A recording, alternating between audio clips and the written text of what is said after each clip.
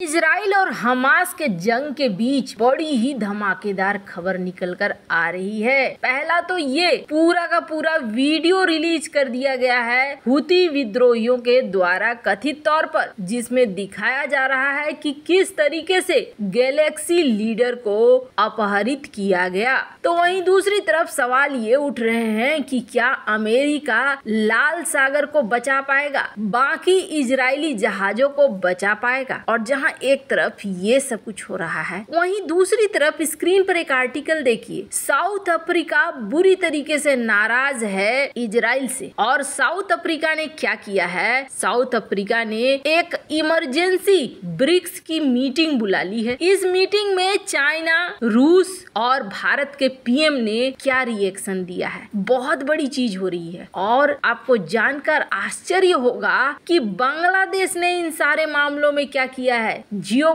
में इस वक्त बहुत कुछ चल रहा है। जानने को आपको बहुत कुछ मिलेगा। आइए जानते हैं इन खबरों को विस्तार से। गैलेक्सी लीडर की बहुत ज़्यादा चर्चा हो रही है, क्योंकि वैसे तो इसराइल का इस जहाज़ पर एक छोटा सा मात्र ही हिस्सेदारी है। लेकिन इस छोटी सी हिस्सेदारी के बाद इसे हाईजे कर लिया गया। जापान इस चीज़ को लेकर अभी भी बातचीत कर रहा है यमन के हुती विद्रोहियों से। लेकिन एक वीडियो रिलीज़ किया गया है। इस वीडियो को देखिए आप, किस तरीके से कैप्चर किया गया है इस गैलेक्सी लीडर कार्गो शिप को। ये एकदम से डराने वाला है। अब सबसे बड़ा सवाल हमने आपको कल भी बताया था कि स्ट्रेट ऑफ़ हॉर्मुज से भारत के बहुत ज़्यादा जहाज़ आते हैं। जिस तरीके से हेली हेलीकॉप्टर से उतरे ये यमन के हुती विद्रोही और फिर ये हेलीकॉप्टर उड़कर वापस चला गया और इन्होंने इस पूरे गैलेक्सी लीडर को धीरे धीरे अपने कब्जे में ले लिया। अब अमेरिका से सवाल हो रहा है कि क्या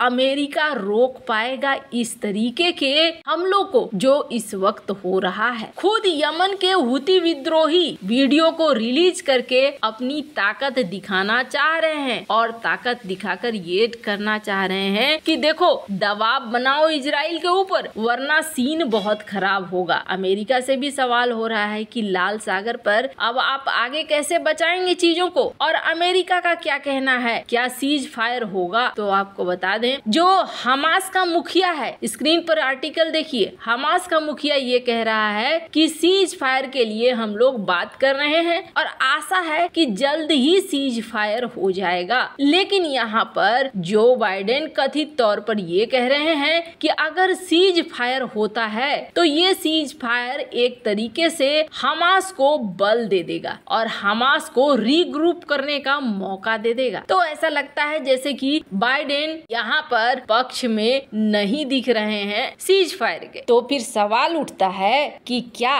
सीज फायर नहीं होगा? तो आगे इस युद्ध में क्या होगा? आगे इस युद्ध में कुछ कमाल के मोड़ आए हैं। ये जो साउथ अफ्रीका देख रहे हैं ना साउथ साउथ अफ्रीका के साथ इसराइल के पंगे शुरू हो गए हैं। जो इस चैनल के रेगुलर व्यूअर हैं, उन्हें मैंने पहले भी बताया था कि साउथ अफ्रीका में जो इसराइल के राजदूत हैं, एली, इन्होंने एक बयान दिया। और ये बयान इतना ज़्यादा हड़कंप मचा गया साउथ अफ्रीका के अंदर कि साउथ अफ्रीका की संसद में बैठक होने लगी। और बैठक में साउथ अफ्रीका के संसद ने ये कहा कि इसराइल के राजदूत के पोस्ट को ही हटा दो। इसराइल के राजदूत ने हिम्मत कैसे की ये बात कहने की? हालाँकि इसराइल के राजदूत ने क्या कहा? ये बात मीडिया में नहीं आई। लेकिन अब क्या हुआ है? स्क्रीन पर आर्टिकल देखिए, एली को इसराइल ने वापस बुला लिया है। साउथ अफ्रीका ने पहले ही अपने डिप्लोमेटिक रिलेशन तोड़ दिए हैं। साउथ अफ्रीका ने अपने राजदूत को बुला लिया है। मामला यहीं पर खत्म नहीं हुआ। अब साउथ अफ्रीका ने क्या किया? साउथ अफ्रीका ने पाँच देशों के साथ मिलकर आईसीसी में, यानी कि इंटरनेशनल क्रिमिनल कोर्ट में इसराइल इसराइल के खिलाफ कर दिया है केस। अब ये पाँच देश कौन कौन से हैं, मन में आपके ख्याल आएगा तो आपको बता दें। इन पाँच देशों में एक नाम सुनकर आप चौंक जाएँगे। बाकी तो भले आपको चौंकाए न चौंकाए, लेकिन एक नाम ज़रूर चौंकाएगा आपको। इन पाँच देशों में नाम है बोलबिया, कोमरोस, जिबूती और बांग्लादेश,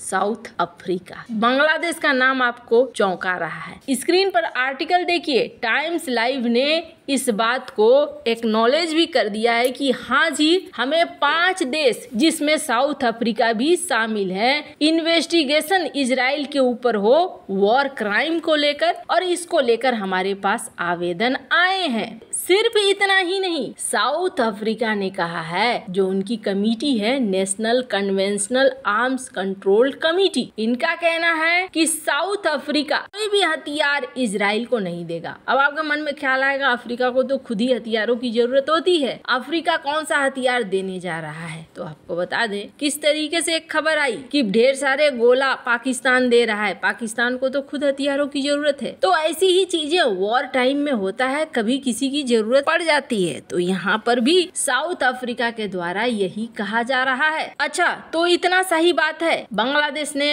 अंतर्राष्ट्रीय कोर्ट में केस कर दिया और अफ्रीका ने ये बातें कह दी। अफ्रीका से अपने राजदूत निकाल लिए इसराइल ने। क्या इतना सही है? आपको बता दें, कहा जा रहा है कि साउथ अफ्रीका के द्वारा अब ये कहा जा रहा है कि नेतन्याहू को अरेस्ट कर लेना चाहिए, गिरफ़्तार कर लेना चाहिए। ठीक है, लेकिन ये बातें बातों तक नहीं रह गई है। स्क्रीन पर एक आर्टिकल देखिए। साउथ अफ्रीका ने इमरजेंसी में एक ब्रिक्स की मीटिंग बुला ली है और ये मीटिंग एक्स्ट्रा ऑर्डनरी मीटिंग मानी जा रही है। साउथ अफ्रीका इस समिट को होस्ट कर रहा है और होस्ट कर रहा है वर्चुअली यानी कि ऑनलाइन होकर। और इस मीटिंग में कौन कौन आ रहे हैं? व्लादिमीर पुतिन इस मीटिंग में शामिल होंगे और सी जिनपिंग इस मीटिंग में शामिल होंगे। और आपको बता दें, इस मीटिंग में Saudi Arabia Argentina Egypt Ethiopia Iran UAE ये सारे को बुलाया गया है। लेकिन जो बड़े बड़े नाम हैं, रूस के राष्ट्रपति और चीन के राष्ट्रपति, अफ्रीका के तो होंगे ही। और भारत की तरफ़ से तो आपको बता दें, पीएम मोदी इस मीटिंग में शामिल नहीं हो रहे हैं। पीएम मोदी क्यों नहीं शामिल हो रहे हैं? मन में ख्याल अगर दूसरा आ रहा है तो आपको बता दूँ। पीएम मोदी इसलिए शामिल नहीं हो रहे हैं क्योंकि ये इस वक्त चुनाव के लिए जो कार्यक्रम है, उसमें व्यस्त है। तो फिर इस मीटिंग में होगा कौन? इस मीटिंग में कौन रहेगा? तो आपको बता दें, इस मीटिंग में रहेंगे डॉक्टर एस जयशंकर। यानी कि यहाँ पर साउथ अफ्रीका अब एक बहुत ही बड़ा गेम खेल रहा है और इस गेम में में साथ देने के लिए चाइना और रूस आ गए हैं। अब अगर अंतरराष्ट्रीय कोर्ट में ये केस जाता है तो पुतिन की जगह क्या अब नेतन्याहू के लिए भी अरेस्ट वारंट निकलेगा? जानेंगे आगे क्या होगा।